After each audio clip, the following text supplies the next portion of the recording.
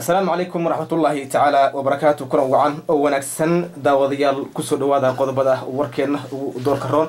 oo halkan aan idinku soo gudbin doono haddii eebe idmo dagaalo xoogan oo ka sii soconayo dhulka canfarta ra'iisul wasaare abiy axmed oo xaalku ku xun yahay ayaa waxa uu tusaale xun u soo qaatay waddamada liibiya iyo siiriya dowladda etoobiya oo isku diyaarinayso xuska askartii lagu laayay tigree sannadkii sanad ka hor. Xisbiga dimuqraadiga ee tigreega oo cambaareeyey dagaalka ay wadaan xooga t b l f.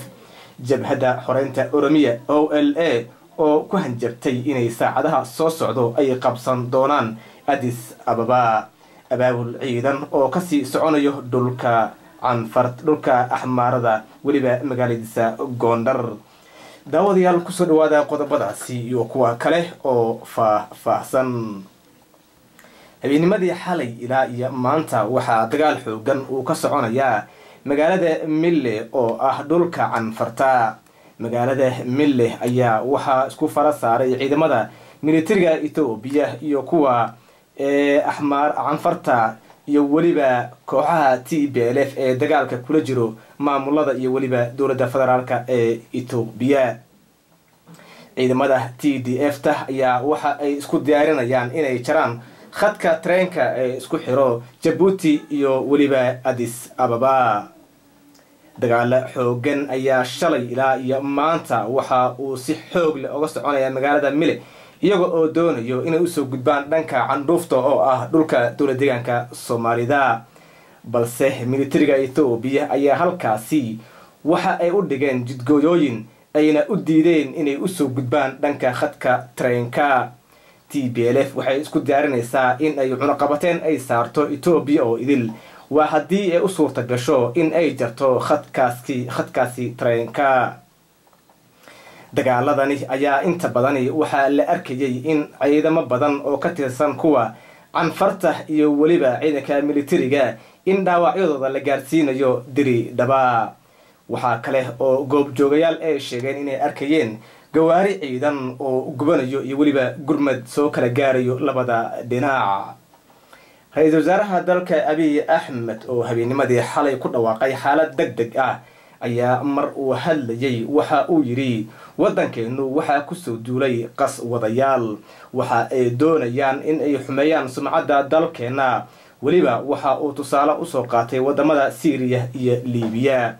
Sida syriya ee liibiya ay faraha oga baxeen ayaa waxa ay doonayaan in waddankeenna etoobiya ee xasiloonida iyo barwaaqada ay taalay inay ka dhigaan kooxda argagixisada ee t b l f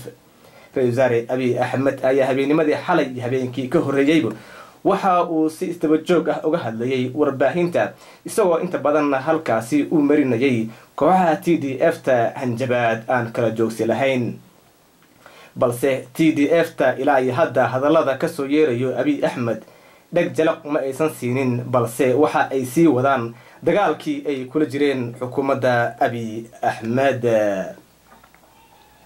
dowladda etoobiya ayaa waxa ay isku diyaarinaysaa maalinta berito xuska askartii lagu laayay gobolka tigreega sanad ka hor. Labada kun iyo labaatan labaatankii bishii novembar taariikh afar waxaa ka dhacay gobolka tigreega xasuuqkaasi oo loo geystay ciidamada militariga oo halkaasi ku lahaa saldhig aada u weyn. Tigreega ayaa waxa ay qabsadeen doorasho iyagu keligood ah taasina waxa ay keentay in militariga halkaasi joogay uu ka biyo diido balse tigreegu waxa ay isku diyaariyeen sidii ay u weerari lahaayeen saldhigga ciidan ee halkaasi muddada dheer ku yaalay. Waxaana uu suurto gashay inay gudaha ay u galaan saldhiggaasi halkaasina ay ku laayaan ciidamo aada u fara badan saanado militarina ay ku qabsadeen. Askartii halkaasi lagu laayay ayaa maalinta beri ah waxaa la xusi doonaa sanad guuradii ka soo wareegtay. Dowladda etoobiya ayaa waxa ay dhaleecaynaysaa weerarkii xilligaasi loo geystay militariga dalka etoobiya waxaana ay sheegeen in ciidamadaasi halkaasi ku sugnaa ay ahaayeen ciidamadii difaaca halkaasi kaga jiray ee in muddo muddo ka badan labaatan iyo shan sano halkaasi u ahayd xarun military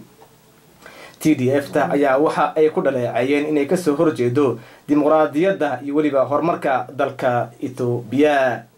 xisbiga dimuqraadiga ee tigreega oo cambaareeyey falalka iyo weliba dagaalka ay wado kooxda t b l f. Xisbiga barwaaqada ee dimuqraadiga ee t b l f ayaa waxa ay sheegeen in ay ka soo horjeedaan weerarada ay qaadayso jabhadda t d f ta xisbigani ayaa inta badani waxa uu joogaa amaba uu ku sugan yahay magaalada adis ababa isaga oo weliba ka shidaal qaadanayo abi axmed xisbiga ayaa waxa uu ku dhaleeceeyey kooxaha t d f ta in ay askareynayaan carruur yar yar iyo weliba ay dadka ay maskaxda ay ka siranayaan. Balse cambaarayntani ayaa imaanayso iyada oo tale ay faraha ay ka baxday t d f na ay isku diyaarinayso inay qabsato magaalada adis ababa. Jabhadda xoreynta oromiya o l a ayaa waxa ay ku hanjabtay in saacadaha soo socdo ay qabsan doonto magaalada adis ababa jabhaddani ayaa maalmihii u dambeeyey waxa ay waday amaba ay dardar ku socotay iyada oo la wareegayso magaalooyin muhiim ah.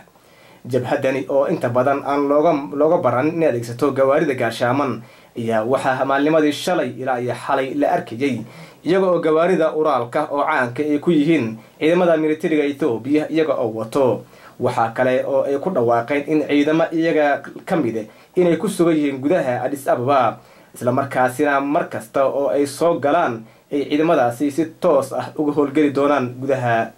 magaalada adis ababa. Jabhaddani ayaa waxa ay la midooday jabhadda t d f ta iyaga oo weliba iska kaashanayo dagaalka ay kula jiraan xukuumadda abi axmed. Balse ilaa iyo hadda waxaa dalka ethoobiya ka hirgalay oo maalnimadii habeenimadii xalay ah bilowday xayiraadii uu soo rogay abi axmed xayiraadaasi uu soo rogay ayaa waxa ay noqonaysaa in militariga ethoobiya ay gawaarida dadka dadweynaha ay leeyihiin ay qafaashaan. Caruurta yaryar iyo ardayda jaamacadaha dhiganaysana la askareeyo si ay dagaalka qayb uga noqdaan.